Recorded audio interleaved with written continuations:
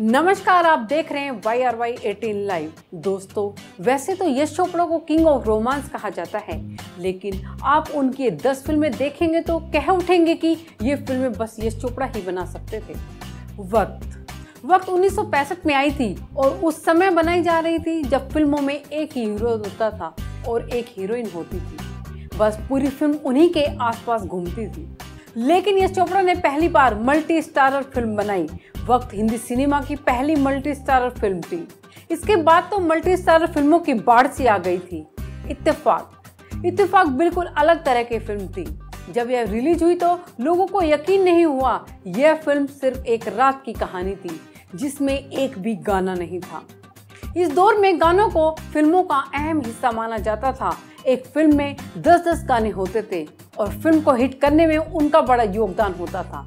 लेकिन राजेश खन्ना और नंदा की ये मर्डर थ्रिलर ने साबित कर दिया कि यदि यश चोपड़ा कुछ हटकर बनाएँगे तो वह भी हिट ही होगा।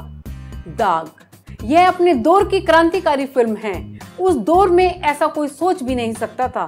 फ़िल्म में राजेश खन्ना की पत्नी गायब हो जाती है तो वो बिना शादी किए एक दूसरी महिला के साथ रहने लगता है।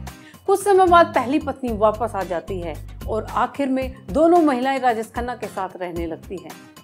इस फ़िल्म की कहानी सुनकर हर किसी ने पैसा लगाने से मना कर दिया था। यह फ़िल्म ज़बरदस्त हिट रही थी। दीवार। इस फ़िल्म में अमिताभ बच्चन की किस्मत ही बदल दी थी। इससे पहले वे बहुत ज़्यादा सफल नहीं हुए थे। ये दो भाइयों की कहानी है। एक कानून का रखवाला होता है और दूसरा कानून का दुश्मन। आज भी यह फ़िल्म हिट है। त्रिशूल। दोस्तों, यह फ़िल्म भी उस वक्त में बड़ी चर्चा में रही थी। यह फ़िल्म है एक नाजायज बेटे के अपने पिता से बदला लेने की। इसमें संजीव कुमार, अमिताभ बच्चन और शशि कपूर ने मुख्य भूमिका निभाई थी। यह फ़िल्म ब्लॉकबस्टर साबित हुई थी। सिलसिला।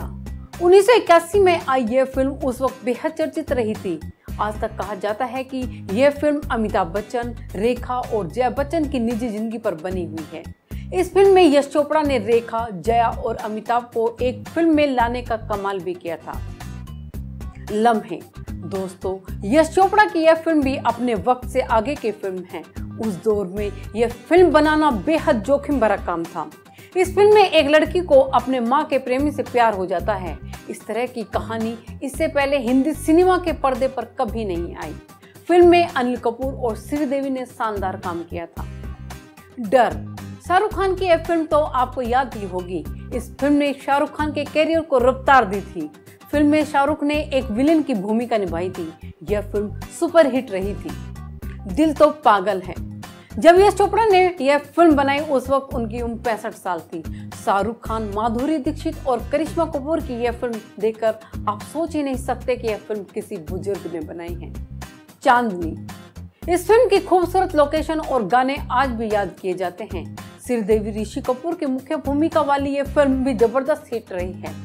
दोस्तों, अगर आपने ये दस फ़िल्में नहीं देखी है तो आपको ज़रूर देखनी चाहिए। आप बने रहें Y R Y eighteen live के साथ।